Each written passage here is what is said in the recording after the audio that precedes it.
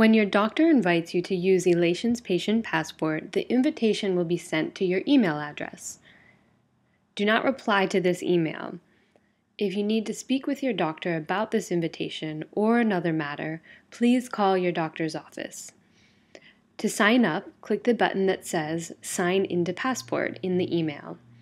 You will be taken to the passport registration page and a text message will be sent to your cell phone.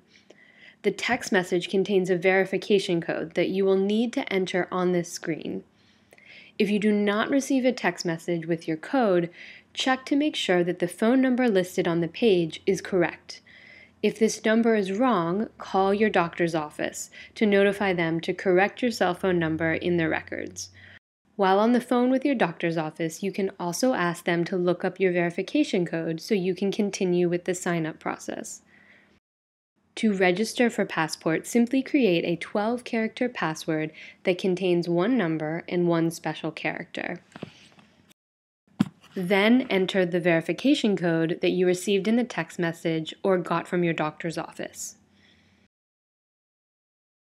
If you experience any trouble during the sign up process, please email our support staff at support at elationpassport.com.